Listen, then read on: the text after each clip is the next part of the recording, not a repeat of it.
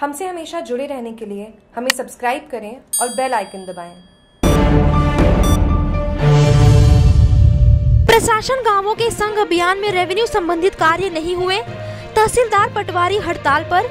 Sojat road के निकटवर्ती ग्राम पंचायत सवराड़ में शनिवार को गांधी जयंती पर मुख्यमंत्री अशोक गहलोत के आह्वान पर प्रशासन गाँवों के संघ अभियान का आयोजन।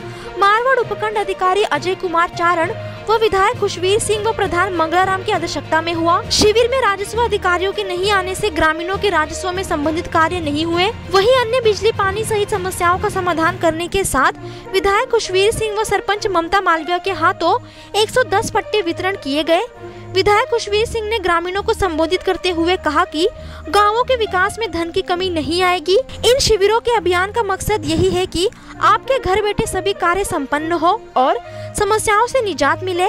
सरकार की जन कल्याणकारी योजनाओं का लाभ आम जन को मिले। इस अवसर पर विकास अधिकारी किशन सिंह राठौड़, पूर्व विधायक केसाराम सिरवी, पंचायत समिति सदस्य गमना राम, पूर्व सरपंच कैलाश मालविया सहित सभी विभागों के अधिकारी व कार्मिक उपस्थित थे। जागरूक टीवी के सोजत से बाबूलाल पवार की रिपोर्ट।